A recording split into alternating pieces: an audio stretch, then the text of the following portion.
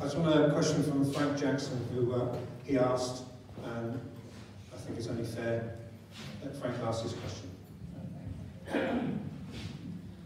Global spending on nuclear weapons in 2023 was $91 billion, a record, with all nine nuclear weapon powers increasing their, their own spending.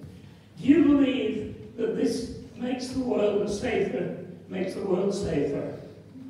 Uh, regardless of your answer to that, uh, what should be the UK's contribution to achieving a nuclear weapon-free world to which they are committed in principle uh, by both, both parties and uh, uh, all the, the five permanent members of the Security Council who are the primary nuclear powers in the world.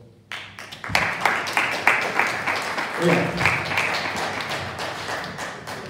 It's an, it's an emotive issue and, and because we need to have a look at defence and all our commitments that way. In an ideal world, would we need nuclear weapons? No. But we're not in that world. We're in a world where we do have people who will do us harm. And we've got to make sure we can defend ourselves. One of the biggest priorities, single priority, I think the main priority of the government, of any MP, is to stand up and defend the people. So yes, I, I, I take your point that in an ideal world, we do want to reduce the number of nuclear warheads and talk to the different stakeholders around the world, and the five members, but also other countries have nuclear weapons as well. So we can have that conversation, but in the meantime, I think we do have to be conscious of the fact that there are people out there who will do us harm, and we've got to be able to defend ourselves. It's a last resort defence, admittedly, and we, the Liberal Democrats have said that we will match, uh, support NATO much more, match 2.5% of our GDP, right, on the military and defence spending. And also with regards to, to the army, the army has got cuts by the Conservative Party previously. We will go back on that and replace the replace the army personnel to more than 100,000. That's our commitment. But to your point about nuclear weapons, yes, in an ideal world, ideally, yes, we should reduce the number of nuclear warheads, but we're not in that world, unfortunately. What about the twinning? You got off the twinning, you got on to another. The question now, thank you. You want to sit down, please? I'd appreciate it. That's we come here tonight for. Can can you sit down? Freedom from other Sit down. Thank you. Uh,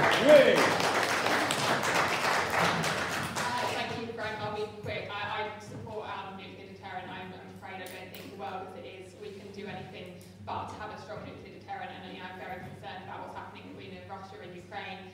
And yeah, as, as I said, I, I completely support the nuclear Use the deterrent. Yeah. What if, when the deterrent fails? Well, I hope if we Which keep it funding it certainly will, won't be Frank. failing.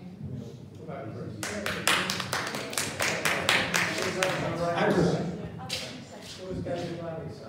Well, you know the answer, Councillor Swords. Uh, the Labour government, the next Labour government will put the security of our country first, and we would renew Trident, uh, and we've talked about the triple lock for that.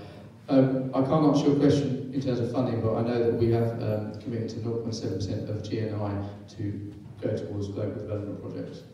So I don't believe we get poorer by making other places in the world, sorry, get richer by making, get the right round, don't get richer by making other parts of the world poorer.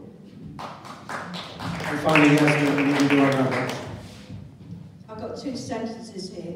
The Green Party would dismantle Britain's entire trident nuclear deterrent and remove all foreign nuclear weapons from UK soil. We would, however, keep the NATO military alliance because we believe it has an important role in ensuring the ability of its member states to respond to their threats and their security. Okay, Thank you very much.